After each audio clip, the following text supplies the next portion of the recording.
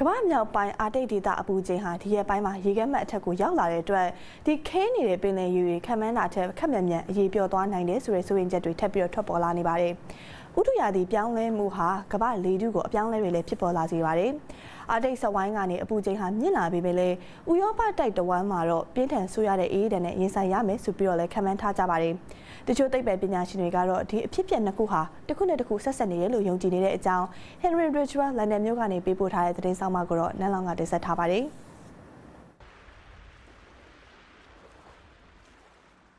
နော်ဝေနိုင်ငံပိုင်ဆောက်ဘတ်ကျွန်းစုကလေးဟာမြက်ဝင်ရိုးစုံအနီးအတိတ်ဆက်ဝိုင်းမှာမတည်ရှိပါတယ်။ဒီကျွန်းကလေးမှာဆောင်းတဲ့ကာလဖြစ်ပြီးတော့နောက်ထပ်သတင်းသုံးမှတ်ထီနေအောင်မြင်အောင်မှမဟုတ်သလိုရေခဲတွေလည်းအကြီးပြောမှမဟုတ်ပါဘူး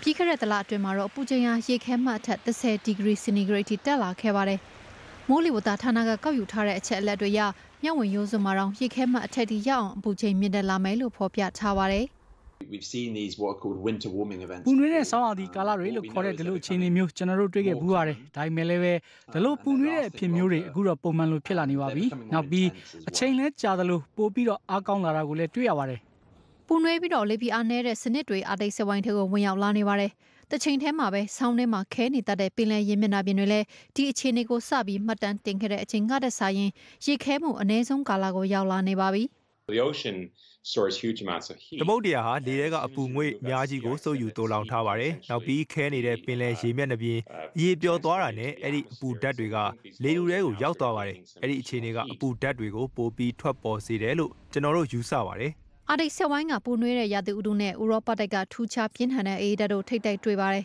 ။ယူကရိန်းနိုင်ငံမှာပြင်းထန်တဲ့ရာသီဥတုကြောင့်မောင်းကျသွားသလိုအီတလီနိုင်ငံရောမမြို့ကအထင်ကကိုလိုဆီယမ်ကြီးလည်းနင်းတွေနဲ့ပိတ်ဖုံးသွားပါတယ်။ အာတိတ်မှာနှွေးရင်ဆက်ပြီးအေးလိမ့်မယ်ဆိုတဲ့ theory အတိုင်းအာတိတ်ဆက်ဝိုင်းမှာလှက်ပတ်နေတဲ့ပုံမှန်တိုင်းအေးနေတဲ့လေထုကမတိမငိမ်ဖြစ်လာပါတယ်။နှွေးနေတဲ့လေထုတွေဝင်ရောက်လာပြီးတော့လေအေးတွေကလက်တီကျူအနှိမ်ပိုင်းတွေကိုဝင်ရောက်လာတာပါ။ is this loss of sea ice and this rapid warming we're seeing in the Arctic. ခဲနေတဲ့ပင်လယ်ရေတွေအေးပျော်သွားပြီးအာတိတ်ဆောင်းပိုင်းမှာချက်ချင်းပူနွေးလာတာကြောင့်ဥရောပမှာပုံမှန်လိုအေးလိုင်းဝင်သွားစေခဲ့တာပါလား။နောက်ပြီးတော့ဒါမျိုးကဓမ္မဇက်တိုက်ပိုဖြစ်လာနေတဲ့ကိစ္စပါ။ခက်တာကကျွန်တော်တို့စီမှာနှစ်တော်များများစုဆောင်းထားတဲ့